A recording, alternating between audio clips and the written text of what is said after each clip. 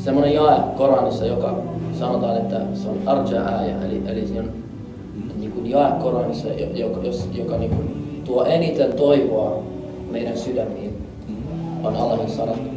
قل يا عبادي الذين أسرفوا على أنفسهم لا تقنطوا من رحمة الله إن الله يغفر الذنوب جميعا قل يا عبادي الذين أسرفوا على أنفسهم Allah subhanahu wa ta'ala sanoo profeetalle, قل sano, sanoi profeetta heille, kun jää ibadiä niin asrafu ala anfusihim. Palvelijani, oi palvelijani, jotka, jotka olette tehneet ää, vääryyttä itseänne kohtaan. Eli olette tehneet syntejä, syntejä, syntejä, syntejä. Vääryyttä itseänne kohtaan.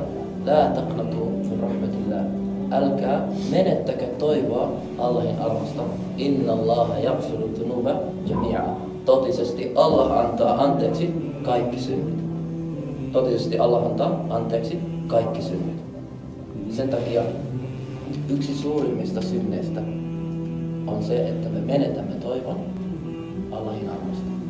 Tietysti jos me kysyttäisiin, mikä, mikä, mikä tulee mieleen, ää, kun me puhutaan suurista synneistä, tietysti tulee mieleen sinä, haureuden te- tekeminen, eikö niin? Shirk on tietysti, mitä wa ta'ala ei anna anteeksi, mutta mitä pienempää kuin shirk, joka ei vie pois islamista, näitä syntejä tulee mieleen. Mutta yksi, yksi niistä synneistä, mitä profeetta Salas on sanonut, yksi suurimmista synneistä on se, että me menetämme toivon Allah, Allahin armosta. Ja myöskin se, että me niin kuin, ö, olemme varmoja siitä, että meitä ei rangaista.